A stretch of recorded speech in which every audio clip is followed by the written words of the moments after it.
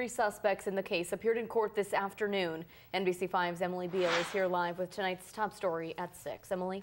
Kristen, 50-year-old Aaron Friar was found dead yesterday. Three people are now facing charges in connection with his murder. The suspects, the suspect Friar's teenage daughter, his her boyfriend rather, Gavin McFarland, and his friend Russell Jones. Today I spoke with Gavin McFarland's former roommate and close friend, who told me he's shocked by the events of the last few days. Like they hated being apart. It was kind of like that puppy love, but it was also true love a case of love gone wrong.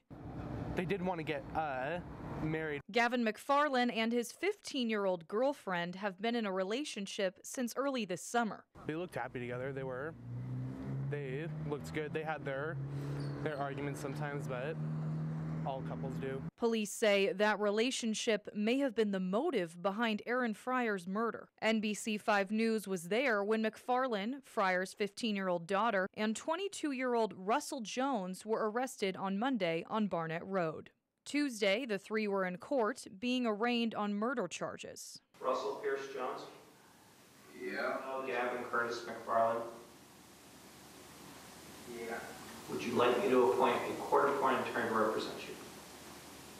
Uh, yes, Police say the three worked together to kill Friar and dump his body on East Antelope Road. Honestly, I'm kind of surprised. I'm like, like, cause I'm just finding this out, and it's like, it's like, jeez. Christopher Snow lived with McFarland. He can't believe what he's hearing about his friend. And I saw the full report, and I was like, jeez, yeah. it's actually real. He welcomed McFarland in as his roommate after Snow says McFarland's stepfather kicked him out of his family home. We had just gotten our own house because we'd been living with our uh, family for a while, but we just gotten our own house, and that's when me and Gavin actually started like hanging out more. Snow says McFarland was a cool guy.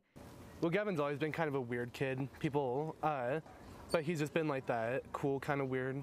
And he describes Friar's daughter and Russell Jones as quiet. He just seems like one of those kids that's just like kind of mellow and and just like kind of talks like philosophically. According to Snow, McFarland and his girlfriend didn't have problems with her dad. Did they ever talk about having issues with her dad? Uh-uh, actually. They were always it was actually usually uh, their mom that they had that they were having issues with. Issues Snow thinks were a result of the couple's three year age difference. His parents didn't know that he was uh, over three years older than, than her. Now, the couple Snow calls normal will see their future play out in court.